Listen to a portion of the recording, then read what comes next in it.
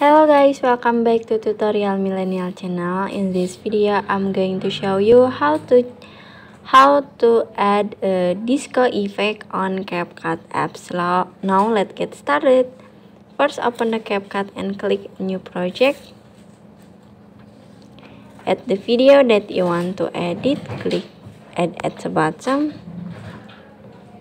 Now I will show you this is the original video like this but in here in this video I wanna add disco effect.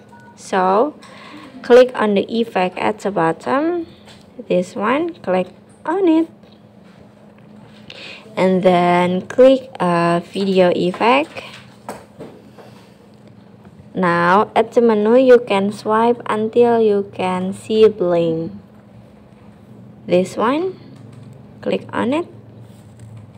And swipe down until you can see um, disco effect this one. Click on it.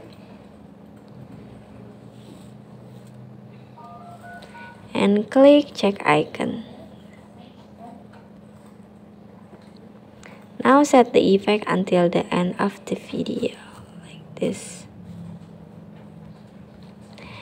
and now you can adjust the effect so just click on the adjust at the bottom this one. You can adjust for the speed and then for the plane. Like this. And then now click check icon at the bottom this one.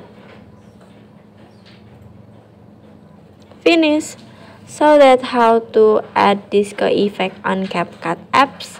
I hope you found this video to be helpful. If you enjoy with the content, please consider like, comment, and subscribe down below. Happy editing guys. Bye-bye.